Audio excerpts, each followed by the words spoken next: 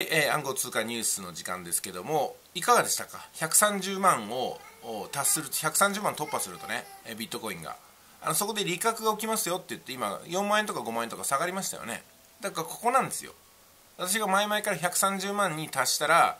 ここで調整が入って下がりますよと5万前後下がりますよって言った時にその5万前後下がるってことはねあ確かにそうだなってことがずっと私の話聞いてる方はもう確信できたと思うんですよ。もちろん外れることもありますけどもね。ただ当たる可能性が非常に高いっていうのが思えたら9対1ぐらいで当たる確率が高いなと思ったらやっぱり9にベットしないといけないですよねこういう時は。で5万円ですからね。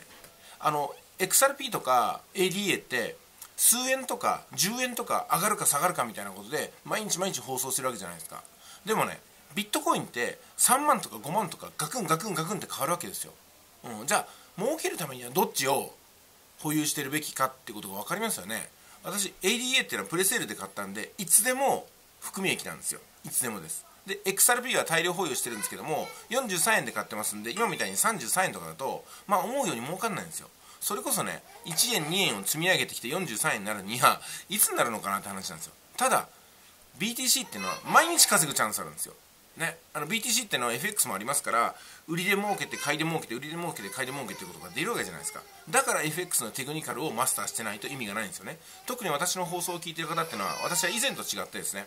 今はテクニカルだけでお話ししますからテクニカルマスターした方ならビットコインでも暗号通貨でも儲けることができるよって話なんですよね。ファンダメンタルの話よく持ってこられる方がいますよね。こんなプロジェクトがありますあんなプロジェクトがありますよと。それはねそんなプロジェクトもあるでしょうけども違う逆目に向かうプロジェクトも無数にあるわけですよ。ですから私はファンダメンタルは一切当てにせずねテクニカルだけで今押していこうと思います。あの特に初心者はねテクニカルでやった方がいいです。ファンダメンタルは難しいんですよ。その情報収集能力が高ければ暗号通貨じゃない方の方がねビジネスの方がうまくいくとさえ思ってますからね。ちょっと呼んでますね。行ってきます。